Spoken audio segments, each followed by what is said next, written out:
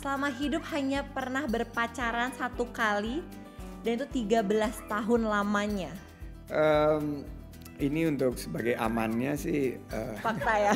Sebagai amannya fakta. sebagai amannya fakta.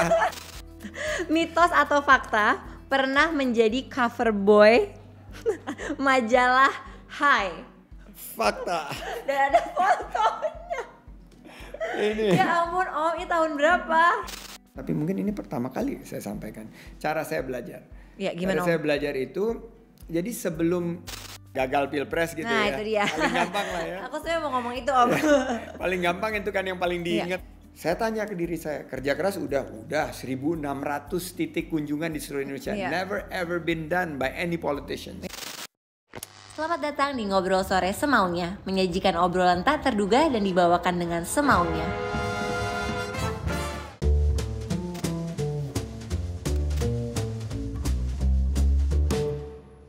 Hai, gue Putri Tanjung. Selamat datang kembali di Ngobrol Sore Semaunya. Hari ini tamu kita super spesial karena tamu kita hari ini adalah temennya bapakku. Makanya aku manggilnya Om. Om Sandiaga Uno. Halo Hai, Putri. Om. Ini Idola. pertama tamu yang dipanggil Om nggak di sini? Eh, yes. I feel so old. Enggak lah Om. Karena kan Om udah kenal aku dari kecil banget. Dari kecil banget. Dari kan temennya kecil Atira banget. dari SD. Iya, malah. Atira tuh adik kelas aku. Jadi anaknya Om Sandi ini adik kelas aku. Hmm. Om, how are you? I'm fine, thank you. Dan keren banget studionya Thank you. NSS. Eh, Selama ini ngeliat-ngeliat dari konten aja, tapi finally diundang ke sini, so it's an honor. Thank you so much for coming. Om, how's this pandemic treating you? Business wise, ya semuanya kena ya, Yeah. kenanya hitnya quite severe. Significant ya. Ya, dan untuk portfolio di dunia usaha kita kan ada terbagi tiga ya, Yeah. dari sumber daya alamnya jebol, terus infrastrukturnya severely slowing down, Yeah.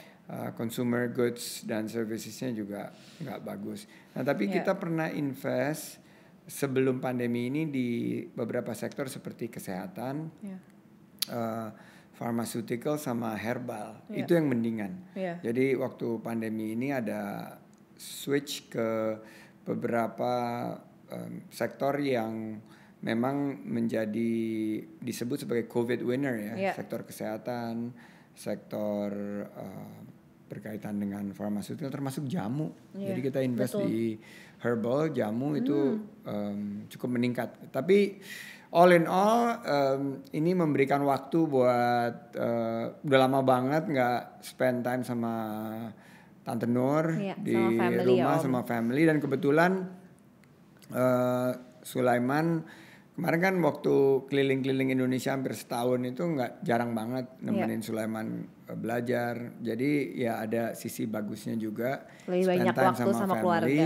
Terus jadi lebih kreatif gitu. Iya. Ternyata nggak nggak jadi nggak sibuk gitu malah tambah sibuk Iya, gitu loh. setuju Om aku. Jadi ini zoomnya bisa 4 pagi, terus 4 sore, terus sebelum tidur ada lagi zoom lagi. Nggak berjeda ya. Nggak, nggak berjeda gitu loh. Ini kita nggak perlu makan Iya atau nggak perlu napas apa.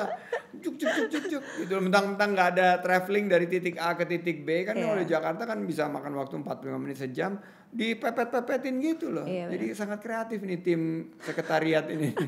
Tapi di masa pandemi ini juga mendorong kita nggak sih Om untuk kayak lebih adaptif, ngeliat opportunity yang ada. Karena semakin banyak sebenarnya opportunity yang ada di masa pandemi ini kan Om. Iya, semakin kita harus semakin inovatif, Iya.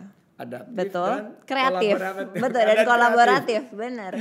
Nah, Om kan Jadi ya memang kita harus jeli ya ngelihat eh, peluang-peluang ini Iya. Betul. dan kita harus cepat meng- eh, beradaptasi karena saya yakin we are not going back to the old normal. Iya. Kita nggak akan balik lagi ke bulan Januari atau bulan Desember 2019 karena ini akan sangat berubah ya dan this is the new normal ya Om. Ya, ini adalah bagian daripada em, transformasi kita. Dan Iya. menurut saya eh, efisiensi akan terjadi di Iya. setiap lini kehidupan kita, mulai dari dunia usaha, pendidikan, kesehatan, eh, termasuk juga birokrasi. Ini Iya. akan akan sangat-sangat eh, berubah drastis Betul. setelah pandemi ini. force us untuk lebih adaptive, lebih efficient, lebih inovatif, lebih kreatif ya Om. Nah Om kan tadi bilang kalau di masa pandemi malah semakin sibuk. Iya, Ya kan? aneh ya. Nah Om ceritain dong gimana sih keseharian Om Sandi tuh kayak gimana? Jadi bangun pagi. Bangun pagi. Ya, terus ibadah, habis ibadah em, langsung pertama pertama belum zoom Oh belum Zoom kirain? Belum zoom. Jadi eh, habis sholat eh, terus aku spend 45 minute quality time sama Tante Nur tuh biasanya habis sholat. Oh. Habis sholat terus kita ngobrol. eh, saya has to start with a cup of coffee. Iya. Sama, Coffee dari wajib. Iya, kopi yang hitam, yang pahit, yang Iya. eh, ngebangunin gitu. Nanti aku kirimin my favorite coffee ya Om. Oh, ada ya? Namanya Nalini. Oh, Nanti Nalini. aku kirimin. I look forward to. Nah, terus setelah itu aku olahraga. Oke. Aku olahraga dan selesai olahraga antara jam 8 sampai jam eh, 8.30 jam 9 udah. Olahraganya apa Om biasanya? Biasanya tergantung harinya. Kalau Senin renang. Oke. Kalau Wah udah ada jadwalnya. Kalau Selasa eh, long run. Oke. Ini yang, yang long run terus ada kerjasama sama beberapa apps yang digital apps Iya. yang lagi promote virtual run dan lain Iya. dan sebagaimana. Eh, long run terus hari Rabu itu eh, itu lari dan berenang. Oke. Jadi lari berenang kadang-kadang diselipin Wow. basket. Wow. Jadi ada bola basket dengan COVID protokol. Ini Iya. agak aneh nih main basket dengan COVID protokol. Jadi nggak boleh deket-deket. Nggak boleh deket-deket. Jauh-jauhan. Eh, jadi terus setelah itu Kamis aku take a break. Oke. Jumat itu olahraganya sepeda. Oke. Em, Brompton. ganti-ganti. Kalau lagi komunitasnya Brompton pakai Brompton. Oke. Kalau komunitas sepeda lokal pakai sepeda Sepeda lokal. Kalau lagi komunitas road bike pakai road bike. Wow. Nah kalau Sabtu Minggu itu aku eh, latihan eh, triathlon. Jadi em, mulainya renang, terus sepeda, lari. Wow, pantesan Om fit terus. Mungkin lebih fit daripada aku. Ini karena Tenaganya nggak pernah dari- habis. Karena lari eh, apa kebiasaan kan dari kecil udah lari. Iya. Eh, tapi main apa sepedahan, basket itu juga dari kecil. Kecil ya, Om, basket ya? Tapi em, ya sekarang ini karena pandemi eh, kayaknya kita harus tingkatkan eh, kebugaran kita, Betul. imunitas Setuju, kita. itu ya. penting banget. Nah Om, sebelum kita ngobrol-ngobrol lebih jauh, kan waktu aku Tapi itu baru pagi, setelah Oh itu iya, baru belum. zoomnya. belum selesai Zoomnya- guys. Zoomnya jam 9 non-stop put sampai eh ya kadang-kadang cuma break-break setengah jam gitu tapi non-stop terus ada menyapa em, komunitas wirausaha di Bali, Ya. komunitas wirausaha di Papua, di NTT gitu muter terus. Jadi nggak habis-habis dan I finish eh, finish finish finish setelah konten dan lagi lain sebagainya karena di beberapa hari ini aku harus ngisi konten Iya. itu ada lima channel Wow. jadi em, saya akhirnya baru bisa "Hah," gitu tuh jam 10-an gitu Almost Tapi every day. sebelum, ya tapi jam 10 itu terus biasanya ada di dua kali seminggu diaturin sama my uh, chief education officers di Wow, grup ah. untuk uh, either mesti dengerin webinar, dengerin ya, dengerin webinar atau baca summary of Eh, books yang Bagus banget. yang yang dipilihin Iya. gitu loh. Jadi untuk Jadi terus memperkaya. belajar ya? Iya harus belajar. Om, iya. Harus belajar. Jadi Terus eh, belajar. kalau nggak kan ketinggalan. Betul, setuju. Anak-anak sekarang milenial cepet banget gitu loh. Kalau Iya. kita nggak em, keep up to uh, what they are doing, ketinggalan kita. Iya, setuju sih Om. Disrupsi itu happen every second malah sekarang. Iya. Udah berubah cepat banget. Nah Om, sebelum kita ngobrol lebih jauh lagi, waktu aku ke podcastnya Om Sandi kan aku dikasih game. Ya kan, sekarang kita, aku juga membalas Hmm. Menang. nih Om. Ada game. Ada game. Game-nya adalah na- namanya judulnya mitos atau fakta. Mitos atau fakta? Jadi aku Oke. akan bacain beberapa statement. Nanti Om kasih tau aku itu mitos atau fakta dan cerita di baliknya seperti apa. Oke, Oke? oke. Pertama, waktu kecil sering dimasukin cabe ke dalam mulutnya sama ibu. Mitos atau fakta? Fakta. Kok fakta? Tapi Gimana sih tanya Om? Nggak dimasukin mulut di bibir gitu loh. Oh. Jadi eh, itu namanya di lado ya. Oke. Jadi bahasa kan kita lahir, saya lahir di Pekanbaru. Iya. Eh, walaupun mama orang Jawa, orang Sunda, tapi ikut budaya di sana kalau anaknya nakal ngomongnya nggak apa namanya nggak sesuai Dikasih terus cabe. dikasih cabe jadi marahinnya itu pakai dipegang terus Dikasih cabe. pedes banget kan abis itu ya ya kita dapat lah message-nya bahwa nggak boleh ngomong Iya. seperti itu lagi Iya. misalnya ada tamu terus kita nyelonong lewat terus kasih komentar yang ya mungkin nggak appropriate gitu ya Iya. terus mama ingetin gitu terus tamunya udah pulang dikejar Langsung. di "Oh, oh, apa kamu bilang tadi but gitu Iya. Itu kalau sekarang mungkin KDRT kali Iya. nggak boleh itu kali aku udah tanya sama Kak Seto sekarang udah nggak boleh, kayak boleh, gitu iya.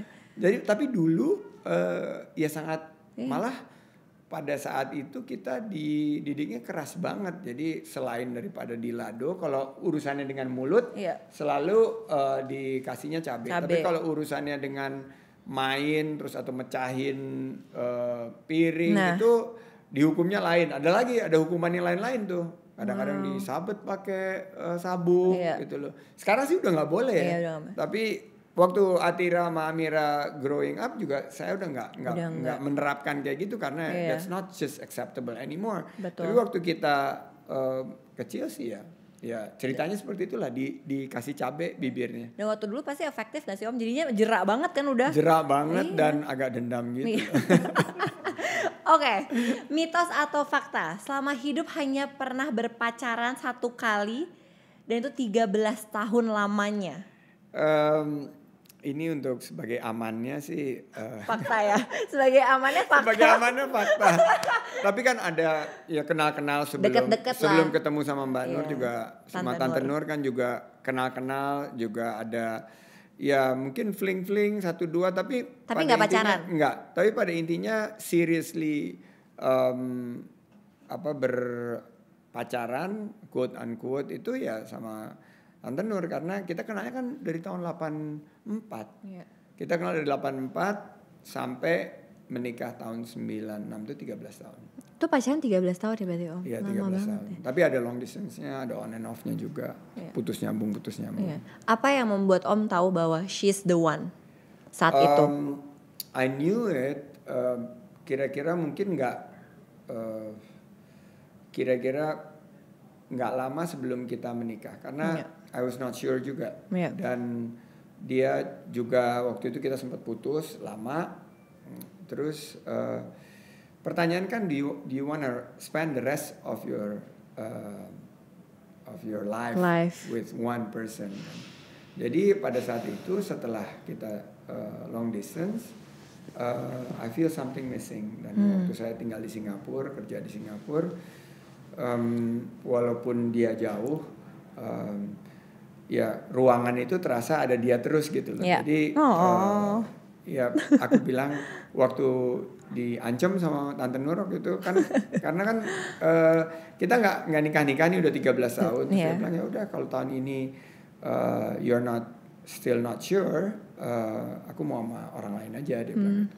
Terus Langsung. yang di situ lah aku, aku wake up Iya. terus uh, setelah itu nggak lama kita langsung rencanain dia pulang ke Indonesia terus kita nikah di Singapura. Tapi kalau mau menikah tuh memang nggak pernah 100% ready nggak sih Om? Nggak pernah lah. Iya, Nggak pasti pernah. ada. After 13 years juga kita nggak ready. Karena dulu sesuatu yang bikin uh, saya nggak ready itu adalah uh, ngeliat kita kan di memulai karir um, belum punya penghasilan yang cukup. Iya. Uh, bisa nggak sih kita ngidupin keluarga Iya. gitu? Terus bisa nggak kita bukan ngidupin diri kita sendiri tapi kita juga punya tanggungan Iya. Eh, bisa nggak kita membahagiakan Iya. pasangan kita jadi pertanyaan-pertanyaan itu terus yang menghantui tapi setelah you make a decisions dan ternyata eh, rezeki itu ada ya ada jatahnya sendiri-sendiri Hmm. Iya. ternyata cukup alhamdulillah, walaupun Alhamdulillah. Iya. kita pernah sulit secara ekonomi tapi kita bisa bangkit dan mungkin keputusan itu adalah the best decisions I ever made. Rezeki istri dan rezeki anak ya Om Rezeki katanya. istri, kata rezeki Bapak. anak itu eh, Itu bener adanya benar ya Om. adanya, terbuka bener. Oke, Om ini mitos atau fakta yang terakhir, tapi ini menurut aku yang paling seru. mitos atau fakta pernah menjadi cover boy majalah Hai. Fakta. Dan ada fotonya. Ini. Ya ampun Om, ini tahun berapa? Ini kayaknya 80-an akhir gitu loh, Put. Hmm. Waktu aku lagi lagi kuliah ini terus ada ada yang ngajakin gitu untuk em, jadi nggak dikasih tahu bakal jadi cover, Iya. tapi dia bilang ini ada foto photoshoot gitu, Eh, dibayar inget banget waktu itu mungkin 75.000 ribu atau 50.000 ribu lupa ya. Oke. Tapi sekitar segitulah 50 ribu atau 75 ribu. Lumayan gak sih Om tuh pada Wah, saat itu? lumayan banget. Iya kan, gede banget pada Eh, saat buat itu. buat waktu itu tahun Iya, buat 80. waktu itu. Karena nggak lama setelah itu aku eh, lulus gajiku dari perusahaan pertama itu 425 ribu per bulan. Iya. 425 ribu. Waktu itu dapat 75 ribu untuk setengah hari shoot. Ya mau banget gitu. Iya. terus datang terus tahu disuruh lepas baju lu kok pakai lepas lepas baju nih terus disuruh pakai rompi dipercik percikin air dingin banget gitu studionya nggak kayak gini gitu dingin banget sampai berapa kali menggigil gitu terus gayanya kayak pecinta alam terus gigit Lucu banget sih, Om. gigit rumput gitu ya alhamdulillah, jadi Alhamdulillah. itu gambar itu akan terus menghantuiku Iya benar. Om nggak pernah berpikir mau melanjutkan karir sebagai model Om? Ya, waktu itu kan saingannya berat, Put. Saingannya ada Ongki Alexander, Iya. ada yang nggak mungkin lah. Dan kebetulan habis itu terus sibuk juga, Iya. sibuk kerja, terus Iya. nggak lama dari kerja dikirim sekolah lagi, ambil S2. Setelah S2 kerja lagi ya udah nggak nggak nggak ada Iya. kesempatan sama sekali. Om ngomongin soal masa lalu, Om kuliah beasiswa, ya, summa summa cum laude, perfect GPA 4.0. Waktu itu Om Sandi tipe pelajar seperti apa sih? Dan tipsnya gimana biar Om dapat beasiswa, dapat summa cum laude? Jadi tips em, ya tipe pelajar yang kutu buku ya. Iya. Jadi kacamata minus 10 waktu itu. Wow. Aku nih Oh, sekarang it's berapa? ini sekarang minus satu karena LASIK. Oh. Jadi eh, tahun Aku juga mau 2001 thanks to technology eh, aku dari tadinya legally blind itu. Minus 10 tuh legally blind. Di Amerika itu kalau nga- ngambil eh, SIM itu ditulis bahwa eh, vision impaired gitu loh. Jadi memang memang waktu itu baca terus dan menghabiskan waktu di library ya olahraga library olahraga library Ya. um, if I have to do it over again, I probably spend more time knowing people, Yeah. terus uh, networking, Yeah. terus uh, mungkin berwisata kali ya. Tapi pada saat itu sih ngebut banget menyelesaikan sekolah dan kayak ada beban ya dari papa mama kan dari orang tua, Yeah. Ya harus uh, nilainya bagus, harus, Harus nilainya bagus, bagus, yeah. harus nilainya bagus. Jadi itu. Nah setelah itu em, dapat nilai eh, yang bagus itu jadi kayak udah otomatis jadi mm, Udah keharusan ya Om? udah keharusan jadi Iya. kalau misalnya nggak nggak belajar dengan tekun nah kalau saya bisa berbagi tips di ngobrol sore semaunya ini jarang saya eh, sampaikan tapi mungkin ini pertama kali saya sampaikan cara saya belajar Ya, gimana, Cara Om? saya belajar itu jadi sebelum kuliah saya udah tahu materinya karena saya belajar dulu sebelumnya chapter yang mau dibahas itu aku udah baca dulu Ya ampun Om. jadi pas lagi eh, pelajar jadi misalnya hari Senin membahas chapter 1 Ya. aku hari Minggunya udah, Udah baca dibaca. cha- chapter 1 jadi aku udah selesaikan chapter 1 terus aku udah bikin note-note kecil Ya. Terus kelas kan, Iya. di kelas itu aku udah ngikutin Em, dan interaksi sama profesor itu em, aku gunakan banget untuk pendalaman. Dan aku selalu duduk di baris paling depan. Wow. Banyak yang kesel nggak Om? Kesel banget yang mau nimpukin kali. Tapi aku orangnya kalau diajak belajar bersama aku mau terus. Iya. Jadi aku selalu eh, bilang nggak ada yang mau nih belajar sama gue nih. Gue bisa share-share loh. Kadang-kadang ada yang mau, ada yang bilang males ah males. Nah saya tuh nggak pernah cramping atau nggak pernah eh, yang belajar sebelum ujian itu eh, satu dua hari sebelumnya jarang banget. Biasanya saya cicil panjang Iya. gitu loh. Jadi mungkin tiga minggu atau dua minggu sebelum ujian udah mulai baca per hari eh, chapter-chapter yang akan diuji, terus nyatet. Jadi karena nulis itu eh, me- secara motorik akan membiasakan kita nanti pas ujian nulis Jadi bisa nginget juga. Aku juga kayak gitu tuh, Om, Jadi caranya. harus nulis gitu. Iya. Jadi nah nanti catatan-catatan itu aku baca sebelum tidur. Iya. Jadi pas ujiannya em, ya biasanya belajarnya ya sampai jam 10 terus tidur karena istirahat yang cukup itu penting, Penting. banget untuk setiap ujian. Nah, alhamdulillah eh, kemarin kan aku baru ngelari, ngelarin juga jenjang terakhir tuh di em, waktu masa pandemi ini tetap aja walaupun udah pakai pad, udah pakai em, udah pakai Zoom, Iya. udah pakai Microsoft Teams dan lain sebagainya, metode itu yang Nyatet. yang yang aku selalu Ngambil apa. Om? Eh, aku ambil entrepreneurship.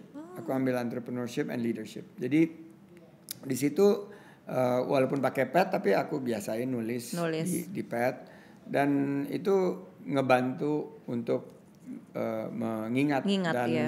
eh, karena lebih ke arah logic itu bisa jelasin eh, skemanya dan lain sebagainya. Nah setelah ujian nggak selesai itu di situ. Selalu ada periode worried kan. Iya. "Ah, Nilainya gimana Takut, iya. takut Kepikiran. gimana." Nah selalu em, saya manage expectations. Hmm. Em, jadi nggak, waduh kayaknya bisa kok tadi. udah Itu lah." dari dulu ya Om, udah Ah, manage expectation. Saya manage expectation. Ah kelihatannya apa aja yang diterima Iya. diterima. Kalau misalnya kurang baik eh, nggak apa-apa lah. namanya. Iya. Yang penting kan yang kita kontrol kan eh, effort kita, Betul. ikhtiar kita. Nah setelah dapat nilainya bagus ya baru bersyukur. Alhamdulillah. Eh, alhamdulillah kasih tahu sama tante Nur atau ke, ma- ke mama atau ke Iya, papa orang tua. tuh kan nilainya bagus kalian kamu tuh selalu bikin kita deg-degan bilangnya nggak bisa tadi tapi kok nilainya bagus ya waktu ngerjain kan belum belum yakin Iya. gitu dan kita nggak mau takabur gitu Betul, loh. betul. nggak mau takabur kita ya kita manage expectations dan Jadi kalau ya, melebihi ekspektasi jadi alhamdulillah ya Om. Alhamdulillah. Seneng Jadi selalu jadinya. seneng gitu Betul. loh. Om, seberapa keras waktu itu orang tua menanamkan pentingnya pendidikan sama Om Sandi? Super duper keras dan malah menurut saya sangat-sangat eh, apa tangan besi ya. Hmm. Jadi misalnya eh, beberapa keputusan berkaitan dengan sekolah, Ya, dapat nilai, Ya. di, itu mereka monitor banget. ya. Terus mereka juga eh, menentukan waktu saya dapat, saya diterima di UI kan. Ya. Saya maunya sih sekolahnya di UI Iya. karena itu my dream school. UI itu keren banget lah menurut saya waktu S- eh, SMP sama SMA pengen banget masuk UI Fakultas Ekonomi. Setelah diterima di UI tapi karena beasiswanya bisa di switch untuk luar negeri, papa tuh yang insist harus karena kalau ke luar negeri mungkin sekolahnya nggak sebagus UI, Iya. tapi kamu dapat wawasan, Betul. kamu Dapat perspektif punya yang lain ya perspektif baru. yang lain dan kamu bisa membangun kemandirian. Ya. Nah di situlah jadi keras banget sih. Put. Ya. Dulu sebenarnya Om cita-citanya apa sih Om waktu kecil pingin jadi apa sebenarnya? Eh, pertama pingin jadi pilot seperti 95% menurut survei Iya. anak laki-laki selalu karena ngeliat pesawat ya pasti pengen jadi pilot. Ya. Habis itu SM, SD SMP itu pengen jadi pemain bola. karena, karena seneng banget lihat sepak bola. Bola, iya. Belum main basket waktu itu. Terus eh, mulai main basket, pengen jadi pemain basket profesional. Oke. Eh, sampai cedera itu sekitar setelah cedera baru mulai ngeliat em, pas penjurusan SMA kelas 1 em, walaupun dapat kesempatan untuk ngambil IPA dan fisika dan lain sebagainya waktu itu udah eh, saya udah tahu saya mau eh, di bidang ekonomi Oke. jadi pemikirannya waktu itu udah fix ingin di bidang ekonomi dan setelah lulus SMA ingin menjadi akuntan. Oke. Nah waktu itulah ngambil akuntansi. Oke. Dan waktu akhirnya berkarir di Singapura gimana ceritanya tuh Om? Jadi em, setelah lulus di bidang akuntansi eh, kerja kan di bank. Ya. Waktu itu dapat dua tawaran. Satu tawarannya dari bank, nasional 425 ribu gajinya. Ya. Satu lagi dari perusahaan accounting internasional gajinya 400 ribu. Oke. Pilih yang 425 ribu dong. Iya dong. Kan 25 ribu banyak. Berharga sekali. Berharga banyak dan bayangin put waktu itu 425 ribu saya tuh bisa ngajak Tante Nur untuk nonton, makan, bisa jalan-jalan, bisa Komplit lah ya om. bisa nabung dengan 425 ribu. Iya. Nah, setelah baru berkarir sekitar setahun dapat beasiswa Iya. untuk ngambil finance, Oke. international finance. Jadi ngelarin S2, kelar international finance terus baru pulang dapat tugas Oke. di luar negeri. Jadi posting pertama tuh di Singapura. Singapura. Investasi peng- di bidang eh, saham, ekuitas dan juga eh, mengerjakan beberapa proyek-proyek di bidang analisa. Iya. Jadi em, jadi investment analysis apa Wow. investment analyst itu eh, dua tahun tiga tahun habis itu baru dapat posting di beberapa eh, negara lainnya. Oke. Nah, Om waktu di Singapura kan udah udah lumayan makmur nih. Terus tiba-tiba aku dengar katanya di PHK. Nah, waktu itu gimana caranya Om Sandi bisa menghadapi situasi tersebut? Em, susah sih put karena waktu itu tahun 97 I thought I was on top Iya. of my world Iyalah, karena pasti. masih muda Karirnya bagus karirnya banget. bagus iya. di luar negeri dapatnya dolar Iya. dapat tunjangan rumah tunjangan kendaraan tunjangan kesehatan eh, dapat begitu banyak kemudahan-kemudahan dan investasi yang saya kelola waktu itu put sangat berkinerja baik gitu Iya. tiba-tiba Boom, iya. krisis datang tiba-tiba di PHK wah itu sih berat banget dua bulan pertama kayak nggak bisa nerima gitu Iya. akhirnya terbuka sama Tante Nur bilang bahwa sekarang ini keadaannya seperti ini I lost my job eh, dan rumah yang kita tinggalin ini juga cicilannya kemungkinan kita nggak bisa penuhin Penuhi. Eh, jadi waktu itu keputusannya adalah rumahnya disewain supaya bisa nam- eh, menambal cicilan Iya. eh, yang per bulan itu setelah kita restrukturisasi pulang ke rumah tinggal balik diri di rumah papa mama. Oke. Waktu itu udah ada Atira kan. Iya. Jadi eh, kembali lagi dari nol. Iya. Malah minus ya karena ada Iya. utang kredit card, utang sana sini. Jadi berat banget tapi justru musibah itu mendatangkan hikmah, Put Iya. bahwa eh, timbul satu inisiatif untuk membuka usaha di bidang konsultan Iya. keuangan. Jadi entrepreneur ya Om. Jadi entrepreneur. Itulah langkah pertama menjadi entrepreneur. Berarti kan Om melangkah menjadi entrepreneur kan mulai dari nol kan Om. Pasti kan gagalnya banyak banget saat mau menjadi seorang pengusaha. Kegagalan apa selama Om menjadi pengusaha yang paling berkesan? Yang paling berkesan waktu ditolak oleh 20 perusahaan berturut-turut. Penolakan tuh paling berkesan ya memang Om Iya, ya. penolakan aku itu juga. berkesan dan aku catat tuh siapa yang nolak Siapa? nolakin Ih, sama, aku juga. Hmm. Nggak usah dendam, Gak usah dendam. tapi diingat. Betul. Look at me now. Look at me now. Jadi eh, teman-teman waktu itu yang ya agak mencemooh buat usaha lagi krisis gila kali lu ya. Iya. Gitu. Jadi eh, itu yang paling berat sih waktu penolakan. Karena itu penolakan itu datang setelah kita di PHK. Jadi itu kayak double whammy gitu. Udah di Iya. PHK, banyak ditolak. Tapi nggak tahu ya waktu itu Allah Subhanahu wa taala kasih eh, bukain jalan terus Tante Nur kasih semangat, mompa semangat, eh, keluarga juga mendukung. Ya akhirnya satu persatu tuh. Iya. Eh, terus ketemu papa waktu itu. Papa Iya. juga lagi merintis tuh. Iya. Papa lagi merintis. Papa udah di depa- duluan di depan gitu loh. Tapi kita ngeliat wah pengen juga sukses kayak CT gitu.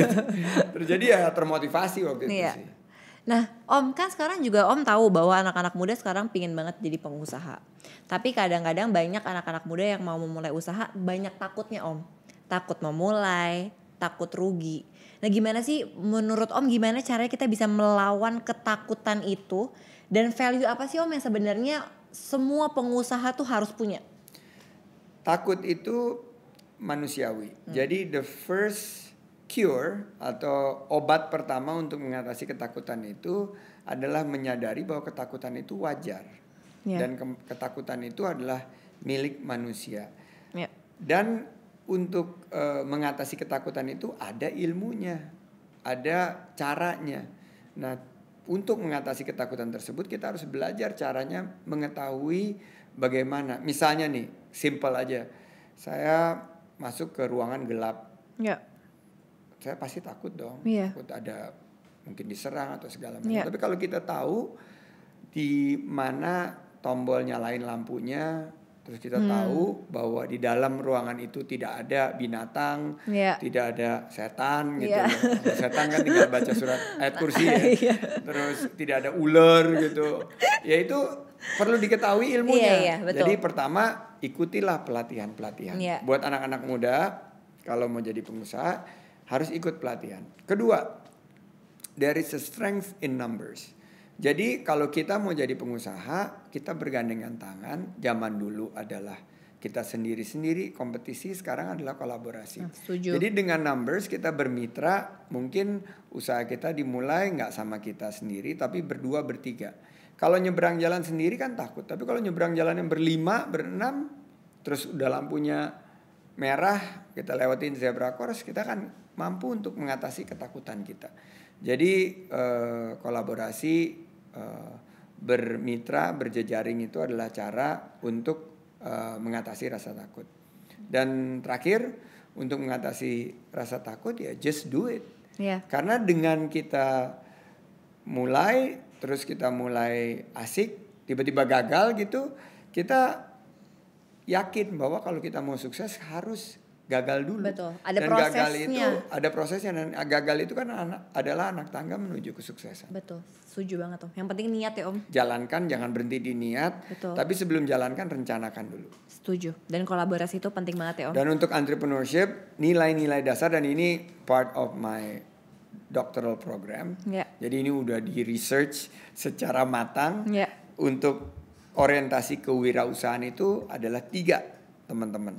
Satu adalah inovasi, kedua adalah berani mengambil resiko, dan ketiga adalah proaktif. Itu adalah tiga orientasi kewirausahaan yang mau dilihat 100 dari 100 wirausaha itu pasti punya tiga hal ini. Oke. Nah, Om, kan Om sudah menjadi pengusaha yang sukses, well known. Everyone look up to you. Terus saat itu waktu itu Om memutuskan untuk masuk ke politik. Sebenarnya apa sih Om? Kan udah jadi pengusaha. Apa yang membuat Om mau masuk ke dunia politik? Ya, kalau looking back, em, ya kalau memang memang ngelihat ke masa lalu ya, life is a collections of serendipity. Iya. Ada kebetulan-kebetulan yang yang terjadi dan kebetulan yang terjadi itu tahun 2014 eh, ketemu Pak Prabowo di restoran. Iya. Terus dia tiba-tiba, eh Sandi kan dulu saya konsultan keuangannya dia. Iya. Ngapain lu sekarang? Ya Pak masih ini Pak lagi usaha segala macam. eh, jadi jubir ya. Jadi jubir kampanyenya dia waktu Iya. itu. Oh iya Pak nanti eh, iya Pak gitu loh. Tapi ambil melipir melipir Iya, gitu iya, loh kan iya. melipir melipir. Tapi terus eh, tiba-tiba udah disiapin semuanya Eh, apa namanya surat-suratnya kelengkapannya. Terus udah diumumin sama dia besoknya. Oh, iya? Jadi agak fait accompli waktu itu jadi jubir tuh. Tiba-tiba peng jubir kampanye Prabowo Hatta gitu Sandi Iya. Uno. Ya udah habis itu em, karena segen juga ngomong sama Pak Prabowo Pak saya nggak jadi jubir ya. jalan lah jadi Susah jubir ya. tuh selama tiga bulan saya jadi jubir kampanye dan di situ eh, saya ngelihat dengan mata kepala sendiri bahwa Indonesia ini potensinya luar biasa Put. Iya. Luar biasa Besar banget ya Om. besar banget Iya. dan saya semakin yakin ternyata lebih besar daripada sumber daya alam yang kita miliki adalah sumber daya manusianya Iya. anak-anak mudanya ibu-ibunya itu semua semangat Iya. untuk membangun Indonesia Iya. nah di situlah saya mulai ada ketertarikan dan setelah saya bicara sama partner-partner akhirnya di tahun 2015 waktu eh, Pak Prabowo ngajak masuk ke Partai Gerindra eh, saya putuskan Iya. untuk masuk ke Gerindra walaupun waktu itu saya sempat eh, ya melipir-melipir juga terus bilang tanya dulu sama keluarga deh boleh atau Nah. enggak gitu. Tapi ternyata Pak Prabowo lebih cepat geraknya dia telepon ibu saya Eyang Min. Yang Min terus pagi-pagi waktu saya datang ke Yang Min tadinya cuma mau basa-basi terus dia bilang "Ehm, kenapa datang pagi-pagi mau nanya ya boleh masuk Apa politik enggak?" atau enggak kok tahu mama iya Pak Prabowo udah telepon malamnya mama udah ikhlas lah kamu masuk aja ke politik. Nah setelah itu saya totalitas. Jadi saya nggak mau nyampur. Ini pelajaran dari Pak JK juga. Pak Iya. JK kalau mau politik politik mau bisnis bisnis. Setelah itu saya tinggalkan bisnis secara totalitas. Eh, saya fokus di politik. Dan setelah itu di 2015 usaha-usaha udah dikelola sekarang sama eh, manajemen yang profesional. Aku tuh inget banget om waktu om masuk ke ranah publik atau politik kan aku lihat om di mana-mana kan. So karena aku deket sama Eyang Min juga, aku tahu Atira gitu ya. Aku tuh selalu penasaran apa sih om waktu itu yang hal yang paling om korbankan saat om terjun ke politik gitu. Apa menurut om yang paling om korbankan? Privacy. Privacy ya. Privacy, eh, keluarga, Iya.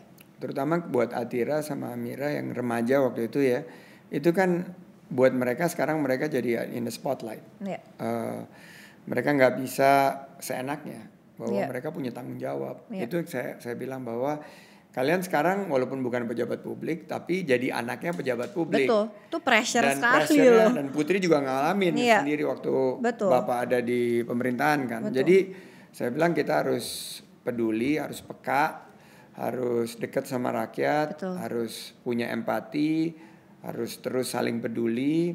Betul. Itu yang akhirnya dari awalnya dianggap mereka sebagai pengorbanan tapi ternyata berujung sebagai privilege. Iya. Sebagai karunia. Betul. Wah, kita bisa ngelihat dan kita bisa berkontribusi. Betul. Jadi memang inilah em, hikmahnya sekarang ada di dalam politik. Ternyata yang kita pikir kita korbankan eh, privacy kita, kita korbankan sisi-sisi pribadi menjadi satu karunia karena eh, ternyata diganti sama Tuhan yang Maha Kuasa sama Allah dengan kemampuan kita untuk mengubah masa depan Iya. eh, orang-orang masyarakat ini yang menurut saya ini jadi sebuah karunia. Setuju. Dengan adanya privilege itu pun kita jadi punya tanggung jawab yang lebih ya om. Bener. Nah, bener. Om kan tadi uh, Om udah, cerita, pasti kan Om banyak kegagalan, berproses juga dalam karir, dalam hidup gitu kan Om. Gimana sih Om caranya kalau misalkan udah gagal atau jatuh atau nggak nggak apa ya, nggak go well as yang udah Om udah plan, gimana caranya bangkit lagi Om? Paling gampang gini aja lah yang tahun 2019 lah gagal pilpres gitu nah ya. itu dia. Paling gampang lah ya. Aku sebenarnya mau ngomong itu Om. Paling gampang itu kan yang paling diingat Iya, gitu. Kalau gagalnya yang waktu di PHK Iya, itu kan 20 tahun betul. yang lalu gitu loh. gimana Om? How do Jadi, you deal with it saat itu? Pertama it's tough karena kita mesti akuin karena kita tumpahkan semua ikhtiar kita Betul. kan. Tapi em, em, saya punya satu prinsip yang saya sebut sebagai kerja empat as. Ya. Kerja keras, kerja cerdas, kerja tuntas dan kerja ikhlas. Ya. Nah, kalau saya mau mengaplikasikan apa yang saya selalu usung etos kerja 4 as itu kan ada komponen ikhlas. Iya. Saya tanya ke diri saya, kerja keras udah udah 1600 titik kunjungan di seluruh Indonesia. Iya. Never ever been done by any politicians. Iya. Kerja cerdas udah pakai social media, pakai big data analytics, Iya. kerja cerdas kita pakai ya kemampuan kita intelektual yang diberikan oleh Tuhan yang Maha Kuasa. Kerja tuntas sudah udah 8 bulan nonstop dari hari pertama kampanye sampai hari terakhir nonstop nggak nggak ada satu break pun kerjanya tuntas. Nah kerja ikhlasnya adalah menerima apa pun yang Allah berikan dan karena kekuasaan itu milik Tuhan yang Maha Kuasa dia akan tentukan siapa yang diberikan kekuasaan dan pada saat itu tanggal 19 April 2019 kekuasaan itu tidak diberikan kepada kita tapi Iya. diberikan kepada Pak Presiden dan Iya. Pak Wapres sekarang. Jadi eh, ya apakah kecewa? Ya kecewa, Pasti. tapi kecewanya dua mungkin dua tiga hari gitu. Iya. Eh, dan kebetulan habis itu saya sakit kan, Iya. Cegukan nggak berhenti berhenti terus demam. Akhirnya istirahat dua tiga hari. Setelah hari ketiga, em, hey it's not too bad gitu loh. Ternyata em, ini menjadi satu pendidikan aku catat semua kan apa yang uh, berhasil dilakukan apa yang gagal apa yang perlu dikoreksi Ya, apa ya, yang Om. perlu ditingkatkan Ya. nah dari situ mulai what to do next Ya. Balik ke perusahaan um, it's not an option karena sudah dikelola sama manajemen profesional dan anak-anak milenial lah sekarang untuk ngejalanin ya sumurnya Iya. Putri gini Iya. sumur CEO ku umurnya 30-an Oke. terus uh, timnya mereka ada yang di late 20 sama early 30s terus balik ke balai kota ya nggak bisa menjilat ludah sendiri udah bilang nggak akan kembali ke posisi sebagai wakil gubernur jadi konsisten Iya. istiqomah uh, moving forward Iya. onward jadi nggak melihat ke belakang jadi akhirnya aku bilang how do I stay relevant di Iya. tengah-tengah em, di tengah-tengah perubahan ini dan Iya. waktu itu udah mulai bulan Juni eh, bulan Juli aku putuskan aku mau start a new career sebagai social entrepreneur Oke. jadi entrepreneur yang berbasis sosial Social.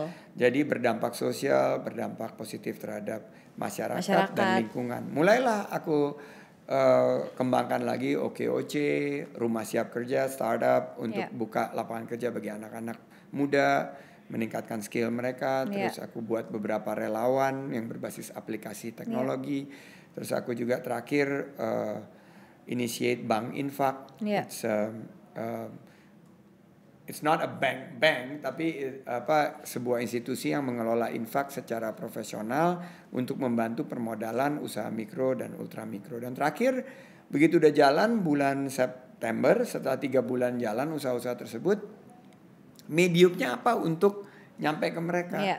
dan akhirnya aku bilang wah kelihatannya aku mesti masuk ke dalam satu ranah yang anak-anak muda Iya. mayoritas itu karena kalau Sulaiman nyalain TV itu udah, Udah YouTube iya betul.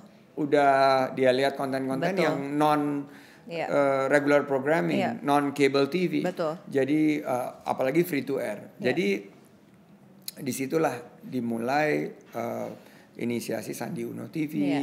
Terus mulai podcast Konten Ruang ya, Sandi, Om. konten, terus Iya. kita bikin konten lagi eh, namanya Jemput Rezeki itu untuk membantu para UMKM. Iya. Ada konten terakhir namanya Kata Sandi Iya. di uh, other channel untuk mendorong produk-produk lokal. Ini Iya. semua aku pakai produk lokal. Hebat. Jadi em, saya uh, ngelihat itu dan ternyata setelah mungkin sekarang udah setahun lebih em, ya bersyukur Iya. kepada Tuhan Yang Maha Kuasa bahwa setiap ada kegagalan uh, ini justru menjadi uh, satu kesempatan kita untuk berusaha lebih baik lagi. Betul. Yang penting selalu bersyukur ya Om. Bersyukur. Kita sebagai manusia hanya bisa berencana.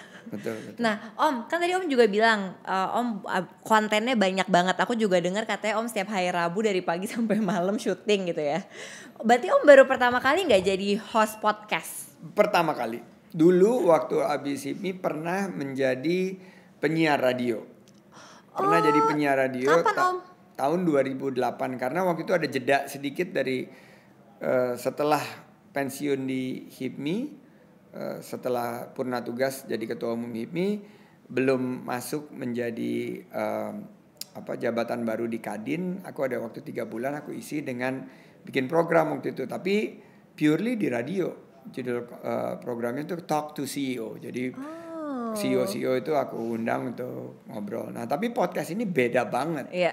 Podcast em, adalah satu medium yang eh, anak-anak muda gunakan untuk mendapatkan informasi sembari mereka berkegiatan. Iya. Jadi kalau misalnya mereka lagi olahraga mereka dengar podcast. Jadi kita harus buat podcast itu memang sangat nyambung sama apa yang anak-anak muda milenial inginkan.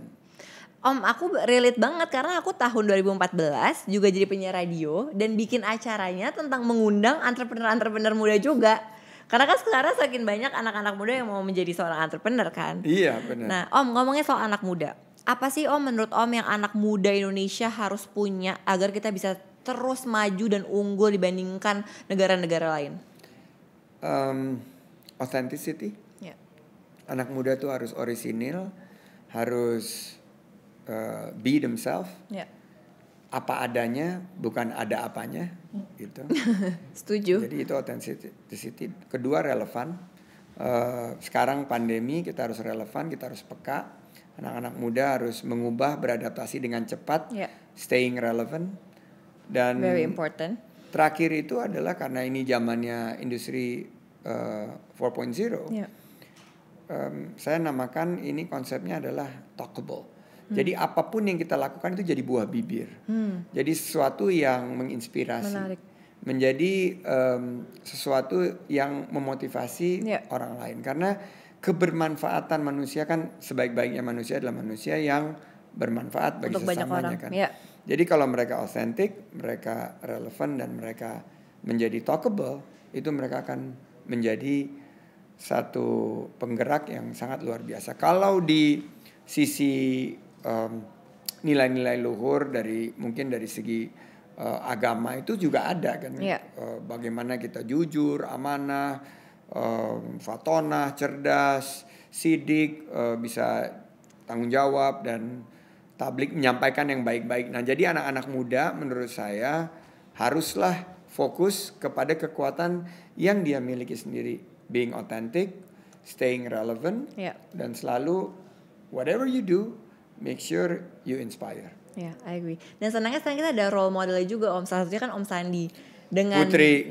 dengan beribu-ribu kegiatannya Om Sandi, aku selalu penasaran deh Om, gimana sih cara ngebalance-nya? Gimana cara ngatur waktu gitu Om? Between career, keluarga, mental health dan lain-lainnya. Um, and ini semua persamaan kita bahwa every single one of us hanya punya waktu 24 jam. Iya.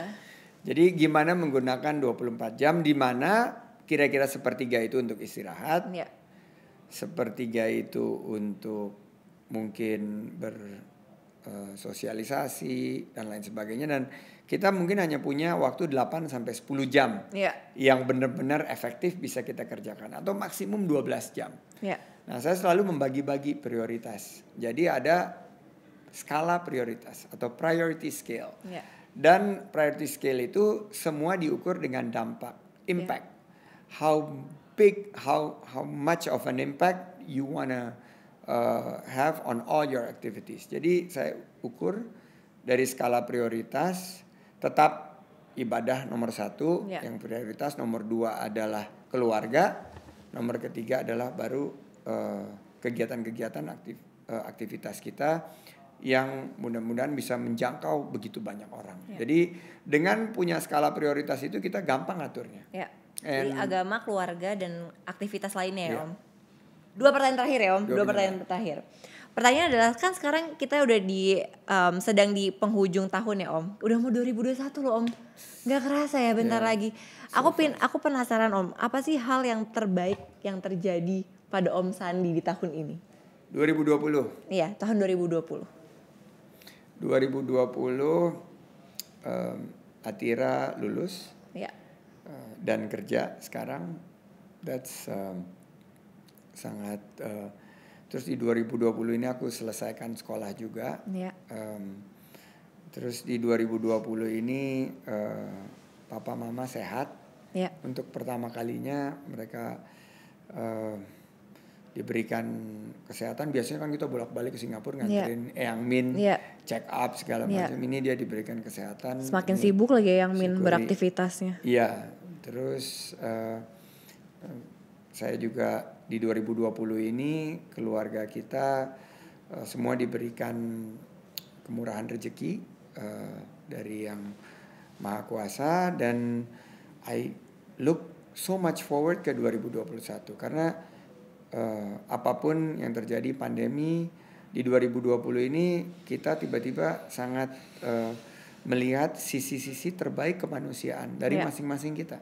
Kita lebih banyak berbagi, Ya. kita lebih banyak kontemplasi Ya. dan ya 2020 akan selalu saya ingat sebagai tahun yang menjadi tahun yang pivotal Ya. dalam kehidupan kita. Apa resolusi Om Sandi di tahun 2021? 2021 resolusi Em, kurangin jadwal zoom yang padat itu ya om yang dari pagi sampai malam nggak ada jeda. um, mungkin lebih banyak waktu mendengar. Uh, kebanyakan kan kalau salah satunya kenapa aku mulai podcast itu karena aku pengen dengar. Pengen dengar. Ya. Selama ini kalau begini kan aku ngomong, ngomong terus, terus gitu loh. terus uh, kapan dengernya gitu. Yeah. Jadi aku pengen lebih banyak ngedengar. Ketiga, aku pengen nambahin waktu tidurku sejam karena selama ini hmm. rasanya kayaknya kurang. Sekarang om berapa jam? 5 jam oh, sampai enam jam itu kurang. Kalau misalnya bisa ditambah sejam aja, mudah-mudahan uh, sama 2021 yang paling penting banget nih kelupaan jadi. Apa om? 2021 ini tahun kebangkitan ekonomi kita. Ya. Aku target di 2021 mau buka resolusinya mau buka kalau bisa 10.000 lapangan kerja. Oh, amin. Amin. Amin. Amin. Oke Om, semoga tercapai ya Om ya. Semoga semua plannya terjalan dengan baik. Thank you. Terima kasih banyak Om Sandi. Thank you. Thank you for your time. Terima kasih teman-teman yang sudah nonton ngobrol sore semaunya. Jangan lupa untuk nonton terus ngobrol sore semaunya setiap hari Kamis jam 6 sore dan jangan lupa untuk dengerin full versionnya di Spotify.